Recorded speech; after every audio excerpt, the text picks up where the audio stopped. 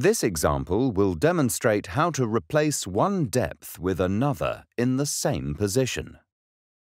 Start by using the grid box to reference the NM position on the chart. Then, using the latitude and longitude guides on the tracing and the chart, lay the tracing to its exact location.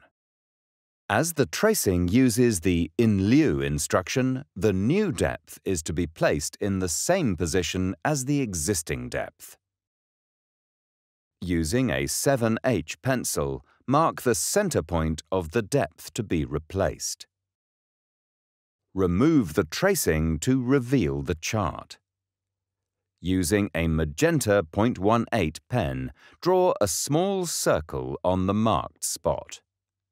Complete the deletion with double strike-throughs over the existing depth, surrounding the small circle.